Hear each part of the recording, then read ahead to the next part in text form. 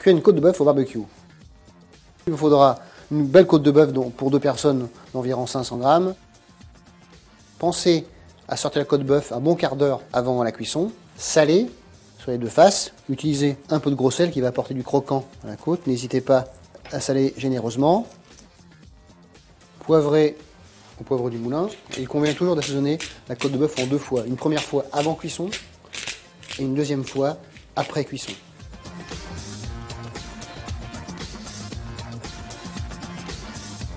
Vous pouvez passer la côte de bœuf dans la marinade. Cette opération est facultative.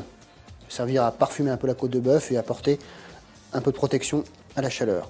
Prévoir un barbecue bien bien chaud.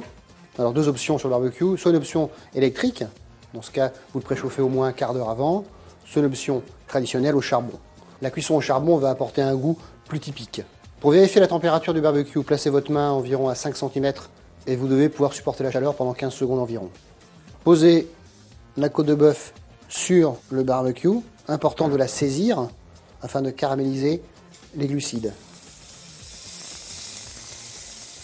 Dans le cas d'une côte de bœuf assez épaisse comme celle-ci, il faut prévoir environ 15 minutes de cuisson pour 500 grammes. Lorsque la côte de bœuf est bien saisie, baissez l'intensité du feu. Si vous avez un barbecue au charbon, il suffit simplement de répartir les braises ou de déplacer la viande.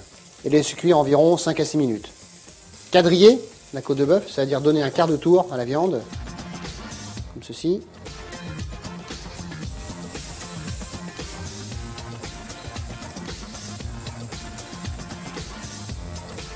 Consigne impérative, une viande rouge ne se pique jamais.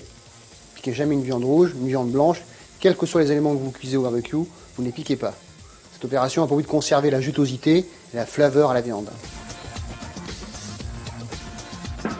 De temps en temps, pensez à utiliser un petit peu d'huile d'olive ou de marinade si vous avez choisi l'option marinade pour venir nourrir la viande en cours de cuisson. Cette euh, opération a pour but d'éviter le dessèchement de la viande, augmenter la puissance du barbecue et on va retourner la côte de bœuf. Sans piquer la viande, on vérifie la cuisson et retourner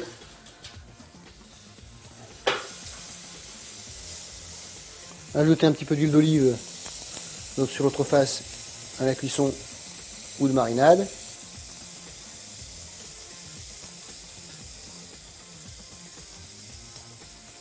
Cuisez la côte de bœuf 7 à 8 minutes maximum par face.